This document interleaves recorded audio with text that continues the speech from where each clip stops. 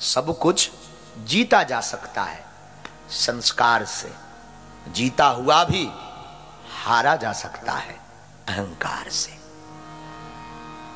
आप सब कुछ जीत सकते रावण ने संस्कार और बल के प्रभाव से क्या क्या नहीं जीता। पर रावण क्या क्या नहीं हारा, ये भी पढ़ना कभी। वंश भी हारा, घर भी हारा, राजपाट भी हारा वरना रावण जैसा ज्ञानी, हम रावण की तारीफ़ नहीं कर रहे हो। ये भी मत करना कि तुम कल से राम की पूजा बंद करके रावण की शुरू करो।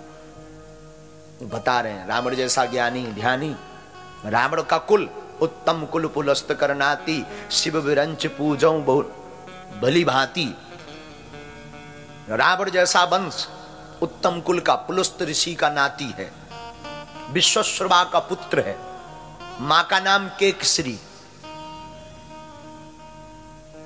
और स्वयं भी साधारण नहीं, परम शिव भक्त शिव भक्त इतना कि लोग तो बिल्लपत्र चढ़ाते हैं, पुष्प चढ़ाते हैं, पत्र चढ़ाते हैं। इसने सोचा बिल्लपत्र चढ़ाने से क्या अर्थ? अपना सिर ही चढ़ा दिया, काट कर। शिव भक्त भी इतना। शिव भक्त इतना कि आप लोग शिव तांडव पढ़ते हैं, वो रावण का है। जटाट भी ये रावण द्वारा विरचित है। रावण ने इसकी रचना की। इतना शिव भक्त, बल इतना, चलत दसानन डोलत अबनी जब रावण चलता है तो पृथ्वी डोलती है, रामायण पढ़िएगा। चलत दसानन डोलत अबनी बल इतना, और बड़ा भी इतना। बुरा मत मानिएगा, हमें कभी कभी रावण पर बहुत खुशी होती है। कभी कभी हम कहते वाह, शाबाश मेरे बाद बहादुर, शाबाश। जिसको मारने के लिए स्वयं ब्रह्म को आना पड़े, वो साधारण थोड़ी हो सकता है। इतना बलवान, ज्ञानवान बुद्धि भी। हम लोगों के पास तो एक सिर है, उसके पास दस, टेन हेड्स।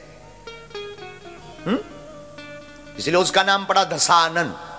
क्या नाम पड़ा? दशानन, क्योंकि दशानन है। एक बार एक संत से एक सज्जन पूछ रहे थे, महाराज जी, रावण के अगर दस सिर थे तो वो सोता कैसे होगा? हमने कहा, संत ने कहा मतलब बोले, जब वो लेटता होगा, उसे करबट बदलना होगा तो वो स्प्रिंग थोड़ी है।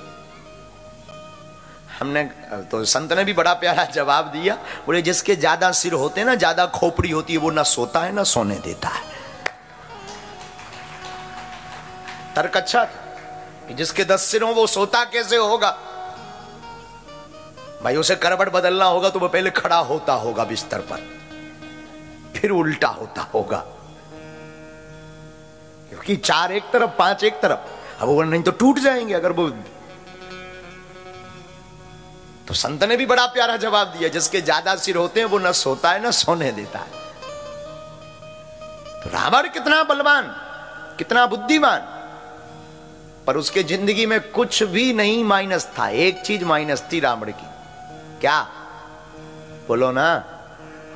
अहम। ईगो। अहंकार। उसको ले डूबा। जो लंका का राजा, जिसकी सोने की नगरी इतना बड़ा बलवान, इतना बड़ा बुद्धिमान, जब वो नहीं बच पाया तो विचार करो, हम आप तो उसके सामने कुछ भी नहीं लगते। उसकी झाड़ुओं में अपनी संपत्ति बिक जाएगी। अब जब सोने की लंका होगी तो सोने की तो झाड़ू होगी ना। वो सोने की झाड़ू होगी तो लंका की झाड़ू छोटी मोटी तो होगी नहीं। थोड़ा बड़ी होगी। बड़ी होगी तो अपनी संपत्ति तो एक झाड़ू में ही चली जाएगी। जब उतना बड़ा रावण नहीं बच पाया, एक माइनस पॉइंट से तो हम आप कैसे बच पाएँगे? अपनी ज़िंदगी में अहम को दूर रखिए, हम में जीजिए, हम में ज़िंदगी जिए। हम सच कहते हैं, आपकी ज़िंदगी में कोई दाग नहीं लग सकता है। आप कभी घाटा नहीं खाएँगे। लोगों का नज़ारा दो तरह से बदल जाता है, एक दूर से, एक गुरूर से। दूर से देखने में भी कुछ अलग नज़र आता है और गुरूर से देखने में भी कुछ अलग नज़र आता है। दुनिया को बहुत अच्छे से देखना है ना तो ना दूर से देखो, ना गुरूर से देखो। दुनिया की हकीकत आपको पता लग जाएगी कि दुनिया क्या है। अहम बहुत घातक है। और मुझे तो एक शायर की बात याद आ रही, कहो तो सुनाऊं। शायर कहता था, झुकते वही हैं जिसमें जान होती है। झुकते वही हैं जिसमें जान होती है। अकड़ तो एक मुर्दे की पहचान होती है। आप अपनी ज़िंदगी में झुकना सीख लो। आप अपनी ज़िंदगी में झुको।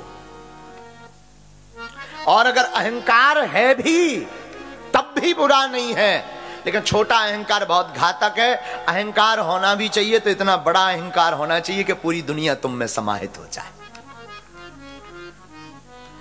छोटे मोटे सब अहंकार समाहित हो जाए। इतना बड़ा अहंकार भी ठीक है।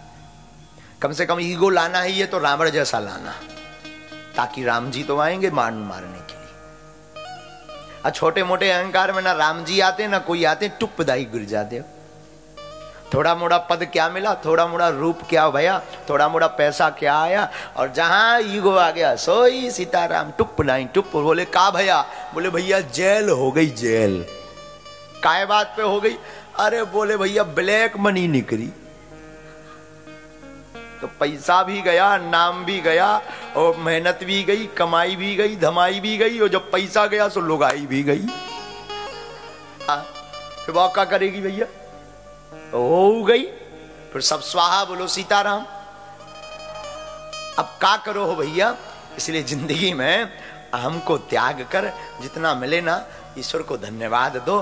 थोड़ा माता पिता की शरण में जाओ, थोड़ा बीच बीच में गुरु की शरण में जाओ, थोड़ा भगवान की शरण में जाओ और मेंटेनेंस करते हुए अपनी ज़िंदगी को जीना प्रारंभ करो। कोई दीनहीन दिखे ना, अपनी पॉकेट में दस पाउंड है, एक से उसकी सहायता, जरूरतमंद की। सहायता कर दो, कुछ नहीं बिगड़ना, और बस। आधे से ज़्यादा जन्म हमने फिर कहा, फिर कहते हैं, समस्याओं का हम लोग ईगो में देते हैं। रामायण में दो पात्र ऐसे हैं, रावण का अभिमान और अंगद का स्वाभिमान। रामायण में अंगद का स्वाभिमान बोल रहा था कि अगर तुम में दम हो तो मेरा पैर उठा। ये रावण के सामने अंगद अभिमान में नहीं बोले बोले, स्वाभिमान में बोले। रावण जब भी बोला, अभिमान में बोला। अभिमान में बोलने वाले का विनाश होता है। स्वाभिमान में बोलने वाले का नाम रोशन होता है। अंगद का नाम आज भी चल रहा है। रावण का भी चल रहा है, पर बेज्जती वाला नाम भी दो प्रकार का होता है। एक बदनाम, एक नाम। अब आपको चयन करना है कि बदनाम वाला नाम चाहिए कि सच्चा नाम चाहिए। अगर बदनाम होना है तो कुछ भी ठाठा शुरू कर दो कुछ भी शुरू कर दो अपनी लेकिन रावण हमेशा अहम में बोलता है। अंगद जी हमेशा हम में बोलते